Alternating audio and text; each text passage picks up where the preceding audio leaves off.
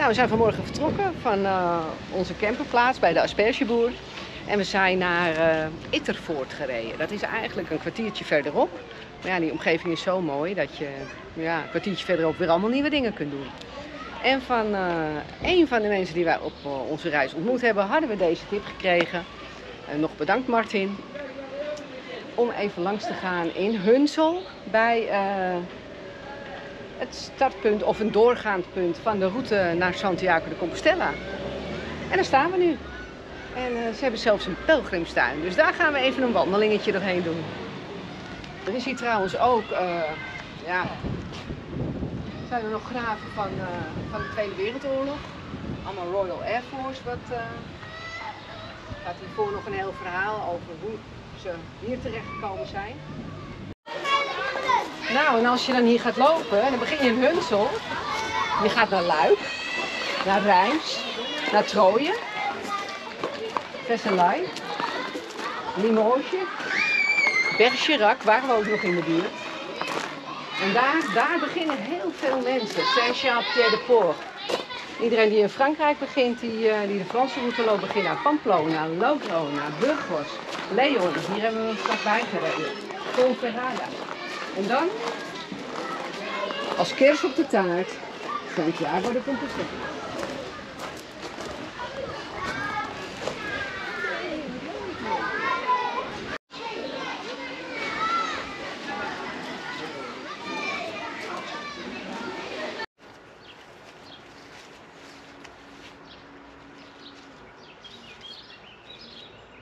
Zie je ons? Lekker de kersen. Ja, ze moeten nog wel een klein beetje rijpen. Maar wel heerlijk. Mm. We staan hier bij de Uffelse molen. Want we wilden ook weer een stempeltje halen. Niet voor het stempeltje per se, maar ook om even te kijken. Ze hebben ook een normaal een terras, maar het is dicht, helaas. Dus we moeten aan onze eigen versnaperingen zien te komen. En het lukt hier wel.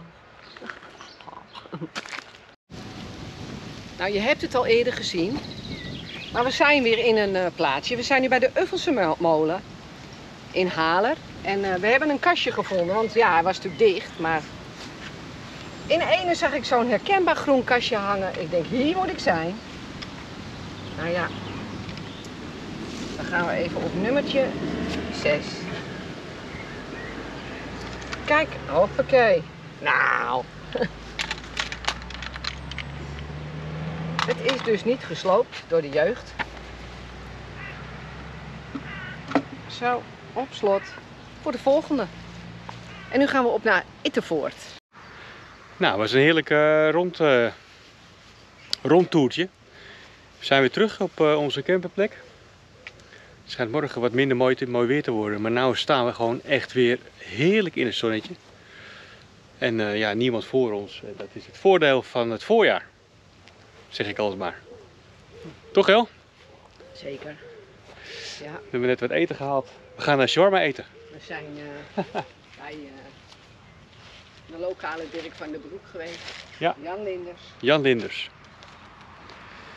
En we hebben lekker shawarma. Een shawarmaatje. Dus eh, kom niet bij ons in de camper vanavond. Want ja, dan, dan stinkt het een beetje. Maar wel ontzettend lekker. Nou, knoflook hè. Zo, Oeh, dat is lekker. shawarma. Hé, heb ik de nog niet meegenomen?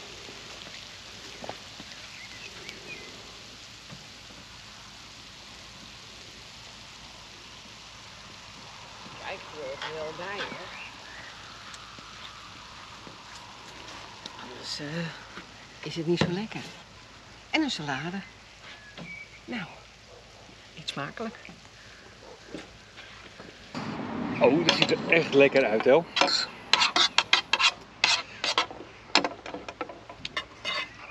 Schepje, eh, Nou, doe maar. zo.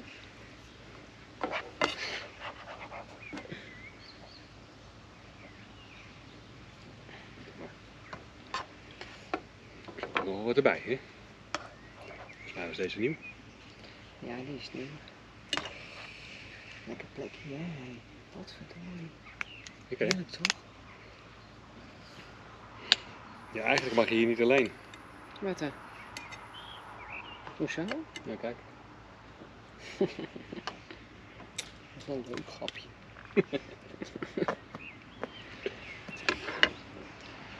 Alsjeblieft. Nou, eet smakelijk. Het was weer een mooie dag vandaag.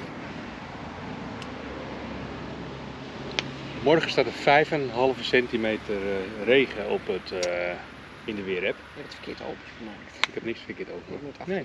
Nee. Niet? Zo. Volgens mij moet hij afgeknipt. Dan hou je hem altijd open. Doe een dekseltje op. Dat zou kunnen. Zeg mij niks over de knoflook. En speciaal deze Turkse knoflook. Maar goed, 5,5 centimeter morgen. Ik weet natuurlijk niet of het ook echt gaat vallen. Nou ja, ehm, maar als het wel zo is, eh, nou ja, goed, dan hebben we hier eh, een metertje of vijf naar het verharde pad. Dus, eh, anders moet je misschien duwen. Maar we gaan morgen niet weg. Dan gaan we even niet weg. Nee, dat is waar. Nou ja. Maar morgen wordt het wel een beetje een dagje thuis. Thuis in de wagen. Kunnen we ons lekker verkneuteren. Als we bij één dagje blijft, is het ook wel prima.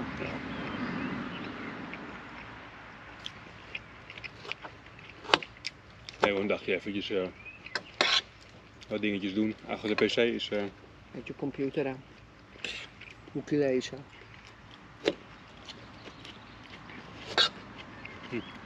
wel. Heerlijk, hè? Mhm. Maar goed. Dat was deze dag weer, denk ik. Ik denk het ook. Mooi. daarop. Mooie omgeving hoor. Ik had al eerder gezegd, Leudal. We zijn nu een stukje verder. Ook hier is het weer eh, aangenaam fietsen. Leuke camperplaatsen. Hm. Deze staat wel langs een weg, maar op zich, ja, heb je er niet zoveel last van. Ik vind het wel, eh, het is wel heel knus hier. Nou ja, eigen mooie tafel. Ja. En die moet je delen met je andere plek, maar ja, die is er niet. Kijk steeds boos als mensen langskomen. nee hoor. Altijd gezellig als er mensen bij je komen staan. Ja.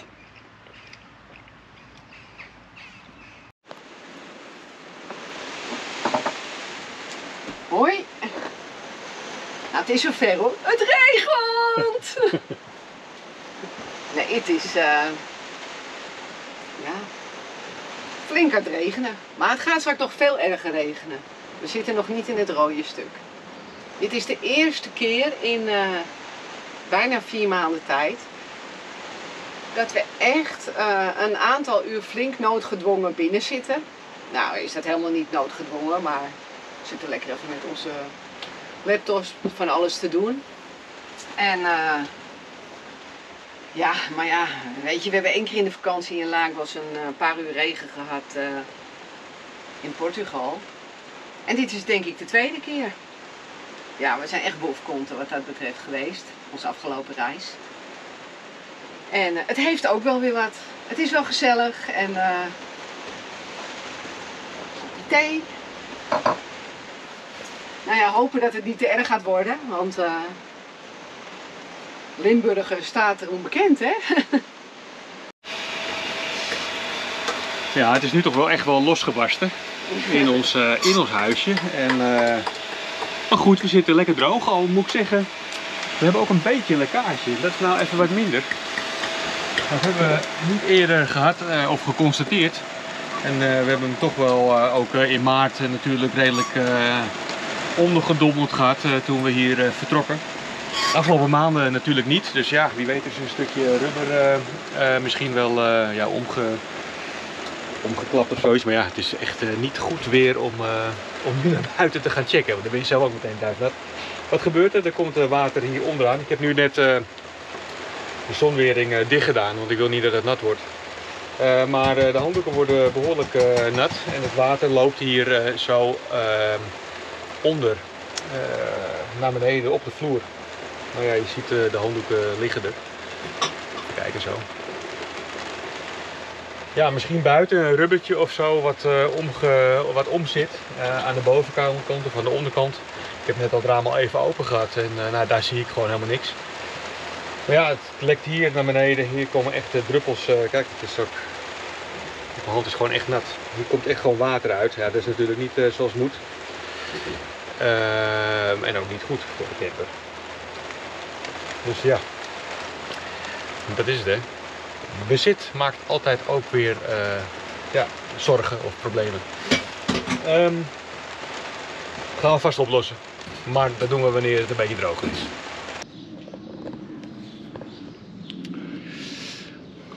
Aan jullie vragen waar we nu zijn. Nou, ik zal het maar even verklappen. In Torn zijn we. En uh, dat is het witte dorpje. Zoals je ziet achter me, maar eigenlijk uh, overal hier. Leuk hè? We gaan er even doorheen. We zijn een fietstocht eh, begonnen. Uh, waarvan Toorn het eerste plaatsje is. Gestart vanuit de, camperplek Ittervoort. En ja, nu hier dus. Het belooft een mooie fietstocht te zijn langs de Maas. En ja, dus we hebben er weer zin in. Kijk, en daar komt mijn schoonheid aan lopen. Ook altijd leuk.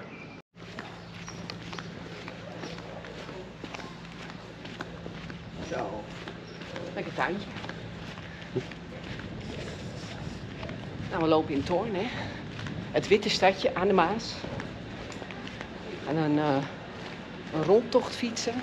Maar we hebben de fiets even aan de kant gezet, want ja, zo mooi. Hier moet je er even afstappen en doorheen wandelen. Om de historie te voelen.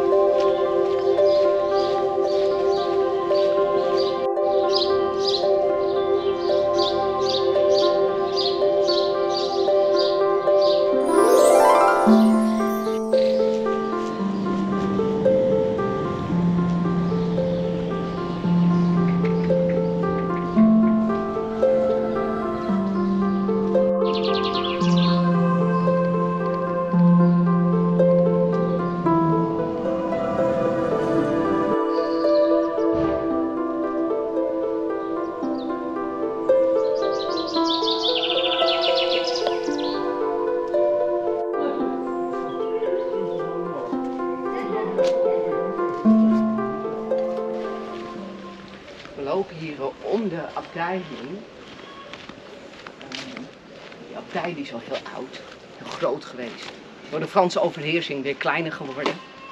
Maar heel veel staat er nog. Het is altijd uh, geregeerd door een uh, abdijvorstin.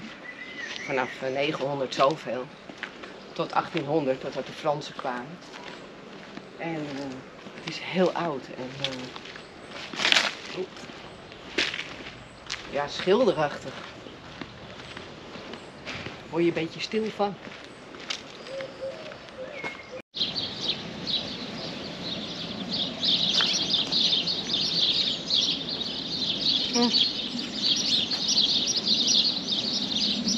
Vrij, op 25, 9, 44. Hier zie je die klaprozen, die poppies.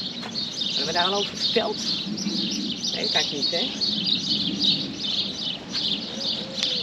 Ja, de groeide na de Tweede, nee, Eerste, hè? Eerste Wereldoorlog. Groeide er op uh, heel veel velden in Frankrijk. Groeide uh, op heel veel velden waar veel soldaten gesneuveld waren. Groeide dit jaar erop heel veel klaprozen. En de gedachte daarachter was dat het bloed van al die uh, soldaten daartoe geleid had. En dat er dus allemaal rode klaprozen stonden. En nou ja, later bleek het helemaal niet zo te zijn. Die velden waren omgeboeld en uh, ja, het zaad van de klaprozen was naar boven gekomen. En nou ja, die velden stonden vol. Maar sindsdien is die bloem wel een, een teken om het te herdenken. Dus je ziet vaak soldaten of veteranen met zo'n klaproos. En hier, het is van plastic, want ja, een klaproos vergaat natuurlijk zo. Maar dat is de reden dat je overal van die klaprozen bij die herdenkingsmonumenten ziet. bijnaam het Witte Stadje, dat hoef ik niet uit te leggen.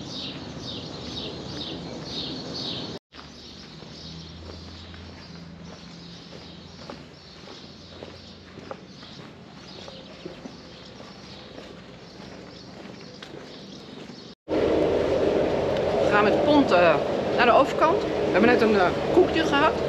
Want de schipper heeft een kleinzoon gekregen, Ori. En die trakteert op wat koekjes. Helemaal goed.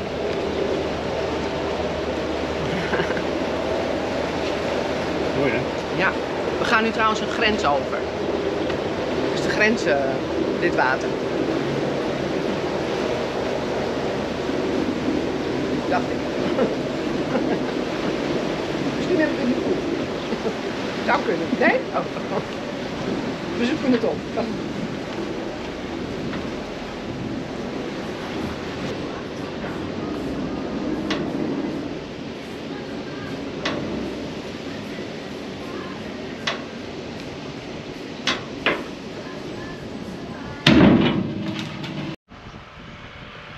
We staan nu in Ohé en Laak. En ik zag op een bordje staan dat ze hier zeggen Genua en Laak. Uh, daar zie je een uh, heel oud kasteel, 1629. Kasteel Het Geutje. En uh, is privébezit. Ooit gekocht door een stadsarchivaris. En uh, die heeft het opgeknapt. En ja, nu is het waarschijnlijk nog in handen van de familie, nazaten van die stadsarchivaris. We staan hier in, op een dijk. We gaan een rondje maken om dit hele gebied heen. En ja, het is de Maasvallei. Hè? Het, uh, het ziet er prachtig uit. Waterrijk, groen, alles bloeit.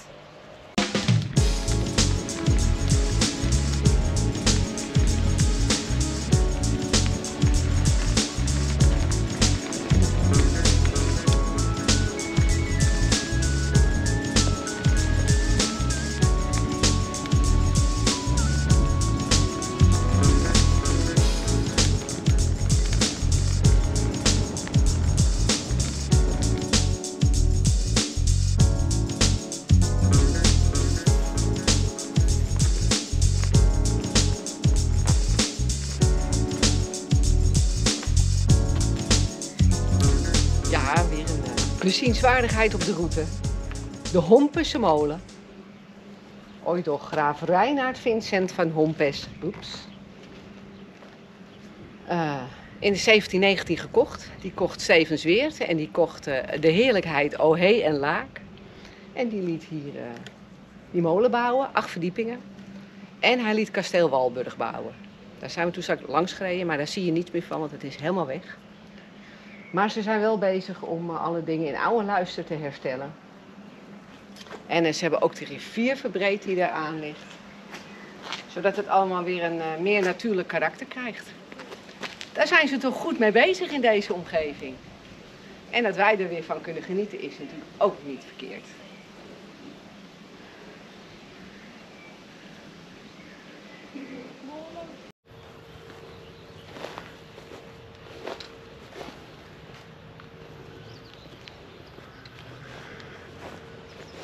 En alweer een uh, prachtig punt op deze route.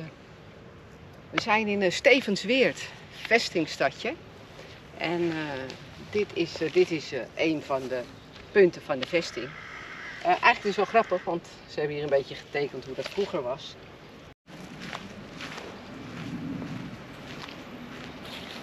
Het is trouwens aangelegd door de Spanjaarden. Maar die deden dat wel naar Hollands model. En dat uh, klopt, want je ziet het uh, op meerdere punten in Nederland, uh, zulke vestigingen. Ze deden dat omdat ja, stenen muren waren niet meer bestand tegen de wapens die ze kregen. Dus moesten ze grote aarden wallen opwerpen. En waardoor de mensen beter beschermd waren, of althans het stadje beter beschermd was. In dit geval Stevensweert. je hebt hier ook een, mooi kijkje op de Maas. Met de bootjes en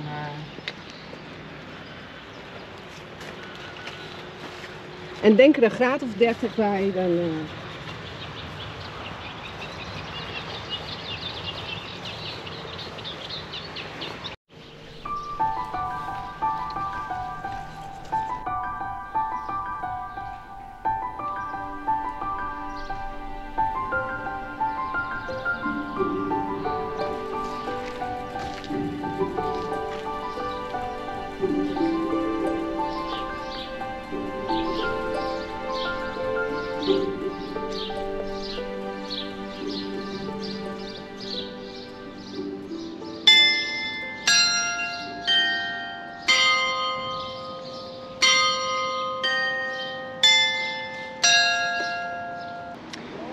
aangekomen in uh, Maasbracht, of in ieder geval uh, nou ja, de kade. We raken het een beetje aan. Maasbracht ligt hier eigenlijk hier een beetje achter. Maar daar gaan we denk ik niet in. Misschien nog een klein stukje. We gaan namelijk zo met het kerkenlaantje op. Uh, dus we, rijden misschien wel een stukje door het centrum. Nou, dit zijn de, ja, de grote sluizen eigenlijk, die deels dus aan de Maas liggen. En moet je kijken met een schip hier. het is echt, echt die mooie grote binnenvaartschepen. Ehm, en woonboten. Woonbootjes zijn er ook nog. Ik verwacht dat we daar in de verte, daar zie je de snelweg. Dat zal, is dat een A2 zijn, hoor? Nee. Nee, het is geen A2. Maar goed, wel een grote weg. We zullen wel even Nou, kijken waar het is. Ja, Ja, ik dacht eigenlijk de N zoveel, maar... Nou, nee. in ieder geval, het is een grote weg. Ik denk dat we daar straks met de fiets ook overheen gaan. Dus dan gaan we eigenlijk weer terug de andere kant op. Ehm, en eh, nou ja, dan maken we een heel mooi rondje. Overigens, eh, we nemen het alweer op met Komoot. Dus eh, onder deze video, daar staat weer het uh, Komoot. En dan kan je nafietsen eventueel en dan zie je een aantal van de beelden in, met je eigen ogen. Die wij nu natuurlijk al eh, hebben laten zien. Maar dat is altijd mooi om het eh, met je eigen ogen te zien. Nou, Elle maakt een paar fotootjes. Dus die worden bij Komoot geüpload. Eh, ze neemt er nu ook eentje van mij. En eh, dat is ook altijd leuk. Dus eh, nou, het is echt een mooie dag. Echt een hele mooie dag. En Nederland is ook gewoon ook mooi. Weet je. Nederland is gewoon een mooi land. We zijn weer terug. Camperplaats Ittervoort. En eh, er staat er weer genoeg. Gisteren stonden we geloof ik met drie eh, man. En nu staat hij helemaal vol. En, of in ieder geval vol aan deze kant. Dus we hebben ook aan deze kant hebben we buren. Dus het opeens een beetje, een beetje wat krapper. Hè? Elle is de, de route aan het opslaan op uh, Komoot. En hoeveel kilometer was het wel? Eh, 36, komma nog. Nou, 36, kom maar nog wat. Net, net route. Hele leuke route. Ik zou in ieder, eh, ieder beeld eh, van. eh, we zetten hem hieronder, moet je maar even kijken, want het is een hele leuke, leuke fietstocht.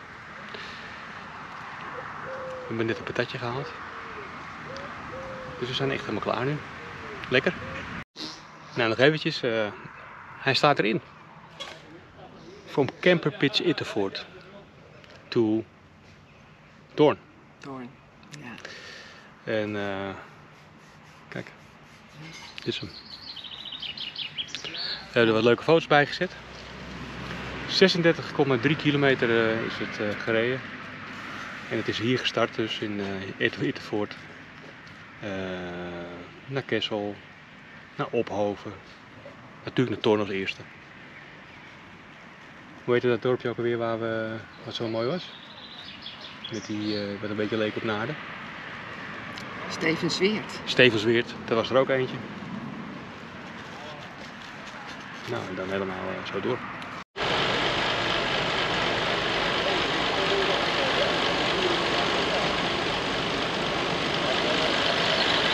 Hey. Ja, eh, we staan op Kimmerplaats En er komt me toch een partij aan vrachtwagens voorbij. Van één bedrijf, maar erachter ook allemaal andere. Hè? Er zit ook alles tussen. Nou, leuk.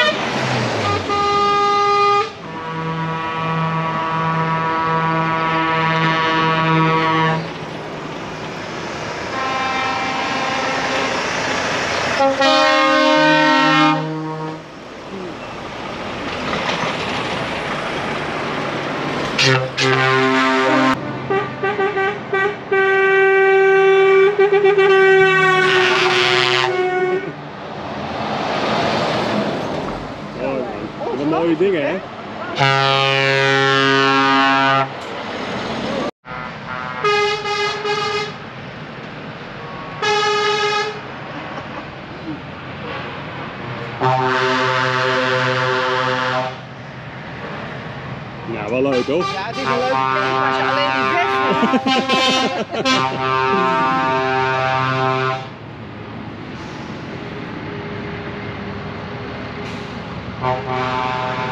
Nou, dat doen die mannen toch allemaal maar mooi uh, zo op een zondag, hè? Ja. Goedemiddag. Nou, we zijn alweer even onderweg. En eh, we hebben een route uitgekozen. Het is trouwens bloedje heet, 32 graden.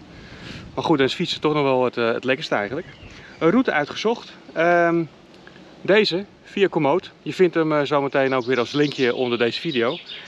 Ehm, heerlijk langs de Maas ehm, en een beetje door de bossen heen. Eh, dus dan hebben we wat verkoeling. In een van de video's, in, het, in de voorgaande video's in Portugal, toen zei ik van ja, er staan her en der daar oude huizen en die staan niet opgekrapt. Die staan meestal een hele mooie plek. Nou, toen zei ik, in Nederland heb je dat niet. Nou, kijk waar we tegenaan lopen. Echt een heel mooi oud kloosteridee volgens mij. Er staat achter nog een, eh, een, eh, soort eh, kerkgebouw erbij. Helemaal vervallen. En eh, staat zo midden in het land. En dan vraag je je af, wat is hier dan gebeurd en waarom wordt het niet gerestaureerd? Maar zo zie je, dus ook in Nederland heb je dit soort plekjes waar nog wat moet gebeuren. Nou, we staan nu bij de sluis van Linnen. Ze noemen het hier volgens mij ook wel de lust van Linnen. Althans, dat staat op de bordjes. Maar het eh, verval hier is zo mega. Als je daar in de verte kijkt waar dat schip, het grote vrachtschip er net uitgaat. Dat water ligt echt, nou, ik denk wel. Een meter of vijf hoor. Zeker, misschien wel meer. Misschien wel meer, hè? Hoger dan, dan, de, dan de sluis. Dus ja, dit, dit is een polderpijl. Je ziet het land, die ligt daar ook veel hoger dan hier. Echt mega verval. Dus dit sluisje moet niet kapot gaan. Oh, kijk, ze gaan open. Wow. Zijn nu dus op polderpijl. Of hoe ze dat hier noemen.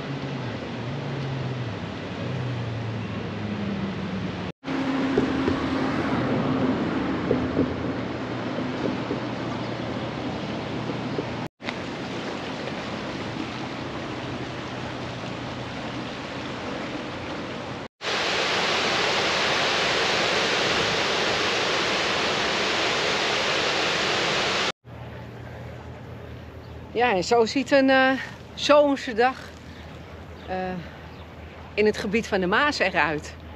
Nou, dat is toch niet verkeerd, hè? We hebben net even een bakje koffie gedronken bij een zwembad in... Dan ben ik het dorp weer kwijt. Het zwembad heet de Weerderhof. Helemaal onderhouden door vrijwilligers. En eh, ja, dat zag er superleuk uit. Maar dit is ook niet verkeerd met je bootje het water op. En eh, ja, lekker eh, relaxen.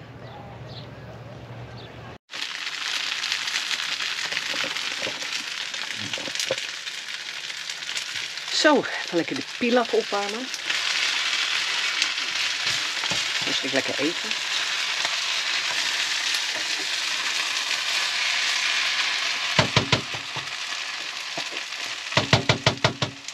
Want ja, fietsen maakt hongerig, hè? Hey. Nou, een blik in de montagestudio van, eh, van Breakaway. Nou, waarschijnlijk heb je hem al gezien, maar ik ben nu bezig met de laatste video eh, van, eh, van Spanje. Die staat natuurlijk al lang en breed op ons YouTube kanaal. Maar ik ben er hier nu in Limburg nog eventjes mee, mee aan het stoeien.